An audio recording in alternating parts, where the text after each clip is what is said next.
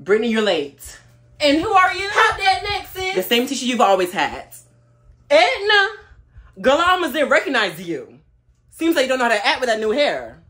Miss to you, and it's you who doesn't know how to act. She is moving that head. Yeah, I can move my head too. Girl, anyway, got the new bust down? And do it's cute. Stiff wear. No stiff, B. No stiff. No stiff. Brittany, I like your hair. Who said that? I did.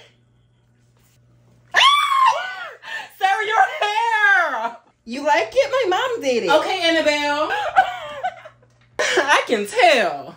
By any chance, are you related to Wendy? Can I order a bacon cheeseburger? Who? Never mind.